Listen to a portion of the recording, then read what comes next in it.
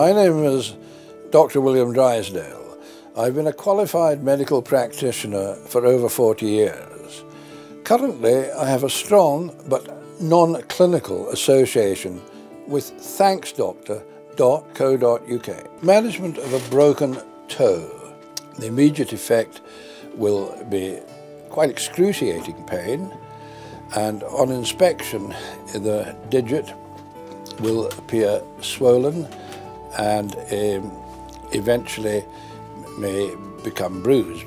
Uh, some immediate action is required and a cold compress is probably the most useful thing to do immediately, followed by uh, um, a painkiller which may have to be slightly stronger than paracetamol, but your pharmacist or GP uh, will advise you on that.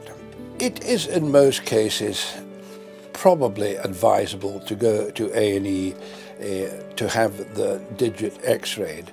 This will establish whether it is in fact broken or just merely bruised. Assuming that the, one of the bones in the toe has broken, there are two of course, called the phalanges, uh, the distal one at the end and the proximal one between that and the metatarsal.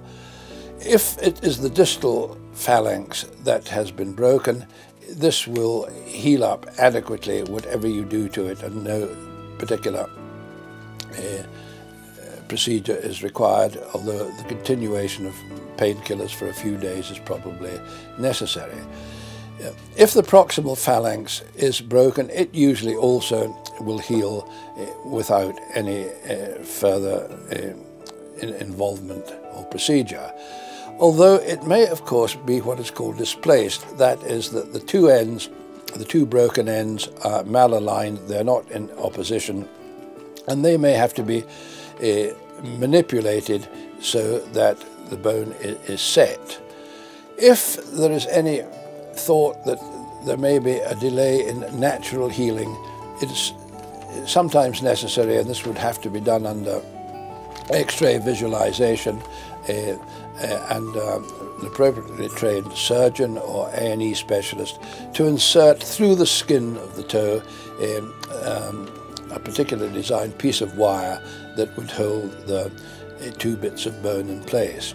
The pain will get a little less each day and within two or three weeks, possibly a little longer, the toe should be perfectly healed and one can return to normal activities.